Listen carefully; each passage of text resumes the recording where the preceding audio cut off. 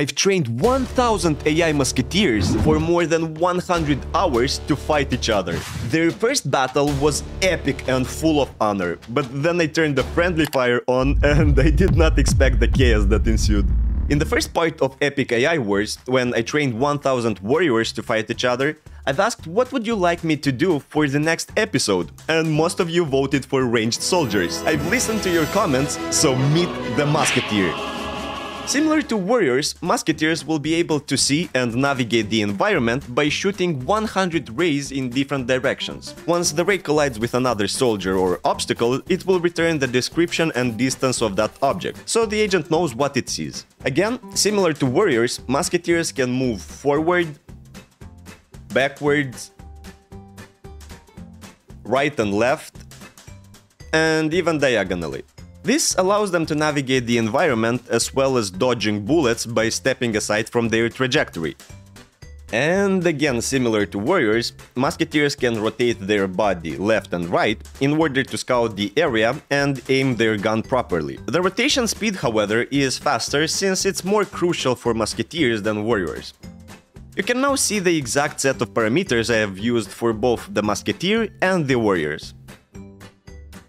Lastly, the agent can shoot his musket, and there were some huge problems with that, but I'll come back to this a little later in the video. By the way, I made these particle effects for when the agents are wounded, and I think it makes everything look so much cooler. What do you think? As you can see, there is no sprinting nor dodging. Actually, musketeers have no stamina at all, just like a true game developer. Since they are ranged units, I have decided to make them slightly less mobile, so that warriors will have a chance to get closer and make their attack. Yes, I'm planning to have huge battles that will involve all kinds of soldiers such as rangers, medics, warriors and so on. I'm so excited to see what strategies they'll come up with, but that's for another video. To balance the powers between warriors and musketeers, I made it so musketeers will deal half the damage, which means they would need two hits instead of one to unalive another soldier, while warriors one-hit their enemies. As for shooting, I initially implemented collision-based projectiles, which means the soldier will fire an actual bullet and it would deal damage only when hitting an enemy. The bullet would have a maximum travel distance of 50 meters, after which it disappears and never comes back with the promised milk and bread. Actually no, I made the system quite reusable, so I don't have to spawn millions of bullets and my GPU doesn't melt. I also planned on giving agents another set of eyes that will only see projectiles, hoping that they would actually learn how to avoid enemy bullets, which would be kinda pog, not gonna lie. After shooting, a reload animation will start, during which the agent is not able to move, so he'll have to position himself correctly before firing. Needless to say, having every bullet as a rigid body made the whole thing pretty slow, but mama ain't raised no pussy, so I ignored all the red flags as you should, and I started the training. I'm training the soldiers using a machine learning technique called reinforcement learning. For those of you who don't know, it uses rewards and punishments to teach the AI whether his actions are good or bad. In our case, the musketeer is punished for getting shot and getting unalive, to motivate him to get good and stop being shot. Also, he will receive a punishment simply for existing, because torturing agents is funny when it's animated and colorful. But don't you worry, I'm not some cold-blooded psycho that likes punishing agents when those are already wounded and in agonizing pain. No. I also reward the agents for correct actions, uh, such as shooting other agents. Um, anyways, I was training 50 soldiers in parallel, 25 in each team. They would spawn randomly in a circle and have one minute to unalive each other, after which the round resets and they are randomly spawned once again. The idea of spawning them randomly in a small circle is to increase the chance that they would actually hit an opponent when shooting. Also, since bullets have a maximum travel distance, this would ensure all opponents are within shooting range, making it easier for the agents to learn fighting principles. It was going pretty well, the rounds were passing one by one, soldiers were slaughtering each other without any empathy like the kill machines they are. What more can one ask for, right? Well, everything good is doomed to come to an end. About 8 hours or 2200 rounds later, I thought the musketeers should have learned the rules of mosh pit by now, so it would be time to make them spawn not randomly, but in their according spawn areas. So now, blue team is on the left, while red team spawns on the right. This should now teach the agents how to move and get closer, since most of the agents will be outside each other's shooting range. And here is where everything went wrong. Well, here is the problem. The musketeer will detect the enemy and shoot him, right? If our AI is positioned correctly, then he should be rewarded for making this shot. However, the way it actually works is the agent will only get rewarded when the bullet hits the enemy. That means that while the bullet is flying, the musketeer will do some other actions and at the moment of reward, he will think that whatever he was doing now is correct and not the shot he made few seconds ago. This problem led to the agent not being able to learn how to shoot and just spraying all the directions. Similar to a good parent, I decided to solve the issue with more punishment. It was applied every time the AI would fire his weapon, my idea being that now they will try to aim more instead of just shooting recklessly. I guess I made the punishment too small because they didn't give a shit. I cranked it up, but then I think I made it too much, so the agents decided to stop fighting and enjoy the beauty of the prototype grid environment they live and die in. At this point, it has been around 70 hours of trial and error and constant failures, and needless to say, I was feeling kinda low. But I wouldn't be me if I would just give up now. Oh, well, nah, maybe that actually would be me. But for some reasons, I didn't. As hard as it was for me to accept it, I decided to switch from collision-based projectiles to raycasts. Now, when the agent is shooting, a ray will be fired right in front of the agent, and if the ray hits an enemy agent, damage will be dealt. Also, just for visual purposes, I made it so the bullet flies the same distance, but now it has no rigid body nor colliders. Besides requiring much less computational power, this system also allowed the agents to get instant rewards for hitting enemies, which should make the training process slightly more accurate. I know that now the agents won't be able to dodge bullets, but after thinking about it some more, I don't think this is necessarily a bad thing. As Mr. Axel9028 pointed out in my previous video, it is kinda dumb that the warriors hold a shield in their hand, but instead of blocking, they dodge. So what I'm gonna do is retrain the warriors later on and allow them to block instead of dodging. This new blocking ability will give them immunity for a certain amount of time from all damage in front of them because your back will be protected by your homies. This immunity in theory should be enough to save warriors from bullets, allowing them to close the distance. Anyways, I started once again training with the new shooting mechanic, first spawning the agents randomly and later in their according areas. The final training attempt took me slightly more than 40 hours and here is the final result.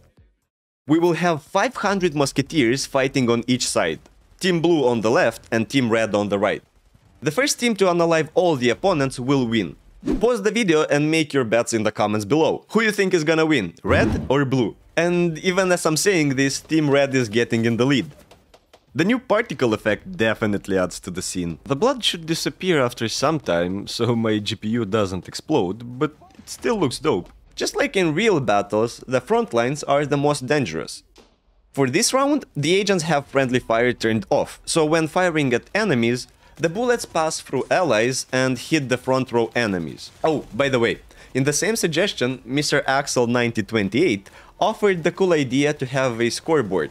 However, since all agents have exactly the same name, that wouldn't be too clear, so I decided to make an MVP board instead. You can see a soldier from which team is current MVP, together with his KD ratio. Moreover, there will be this icon above the current MVP, so we can follow his actions. Well, if he isn't already unalived, of course. It is quite interesting how the soldiers in the backlines are just messing around worryless right until they become the front line. Then they switch to being all serious and start fighting the opponent. Not everyone on the backlines is useless though. There are plenty of soldiers on both sides that are supporting and covering their teammates with fire. Just wait until I turn the friendly fire on. Now the MVP is a blue musketeer. The dude has 5 kills already and still standing. Both teams have now lost more than 20% of their army. Blue team sitting at almost 360 soldiers and Team Red at 370.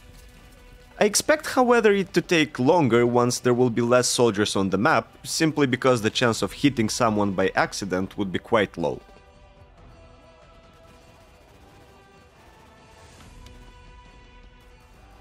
After some more intense fighting for territory and respect, blue team snatches the lead. Yes, it's not a big one, but still a win.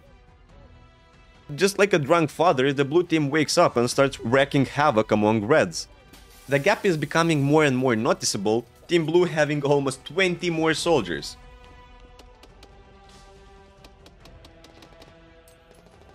However, we have this brave red musketeer who makes his sixth kill and becomes the new MVP, stealing this title from Team Blue.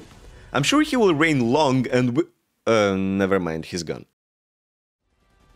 The fight keeps going and there even is some pushing attempts happening on the northern side of the map. Not sure how efficient this is in a range fight, but I'm sure it has to be more useful than these idiots that commit Sudoku by running into the wall.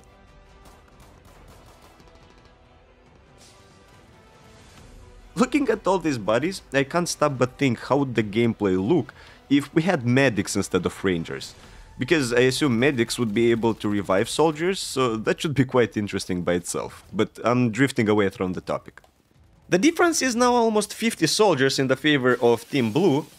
The future looks pretty dim for Team Red. Unless they come up with some unexpected comeback strategy, they are kinda doomed. I have fast forwarded this part, because it is going one way so far. Team Blue is steadily increasing their lead, and the Red soldiers can only try and fight back. Or run as those weak-spirited agents that could not withstand the pressure and now admire the wall.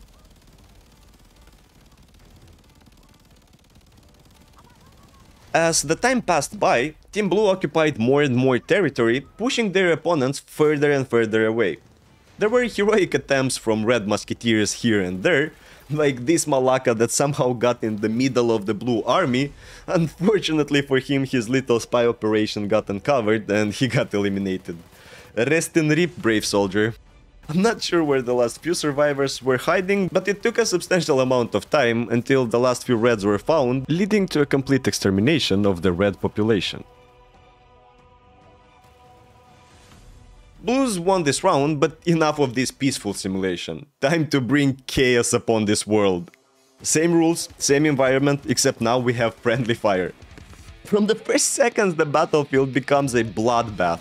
Now your innocent butt isn't protected anymore from the thirsty look of your comrades. This is indeed an existential question. Who are you gonna turn your back to? Your homies or your enemies? Leave a like if this question doesn't let you sleep at night. Surprisingly, this meat grinding was much shorter than the previous round, I wonder why. Despite the clear dominance of Team Blue, when there were around 25 red soldiers left, something unexpected happened. Blue soldiers started falling like flies and I really doubt it was because the red soldiers were putting a fight. This round, more agents got unalived by friendly fire than enemy bullets, which kinda makes it even more similar to real-life medieval battles. Blue team went down to 7 soldiers and even then they couldn't catch the last standing enemy, mainly because he eated himself into the wall. Another win for Team Blue. Turns out training ranged soldiers is so much more difficult than melee units. Who would have thought? In the next AI war video, I plan on exploring some cooperative strategies where musketeers and warriors have to fight both together and with each other. Let me know if you have any other ideas in the comments or on the Discord server. Bye!